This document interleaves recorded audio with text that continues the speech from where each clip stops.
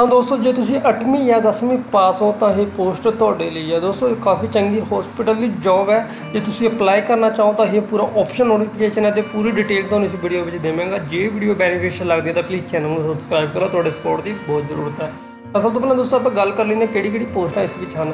ਦੋਸਤੋ bird attendant ਦੀ ਪੋਸਟਾਂ ਨੇ ਟੋਟਲ ਨੰਬਰ ਆਫ ਪੋਸਟ ਆਪਾਂ ਇੱਥੇ ਚੈੱਕ ਕਰ ਸਕਦੇ ਹਾਂ। ਤੇ 800 ਪੋਸਟ ਨੇ।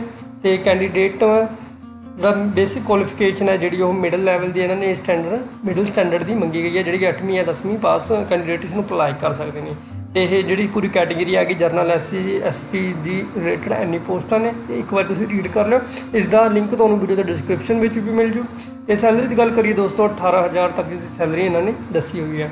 ਤੇ ਸਭ ਤੋਂ ਪਹਿਲਾਂ ਸਿਲੈਕਸ਼ਨ ਏਰੀਆ ਦੱਸ ਦਈਏ ਕਿਸੇ ਸਿਲੈਕਸ਼ਨ ਕਿਵੇਂ ਹੋਵੇਗੀ।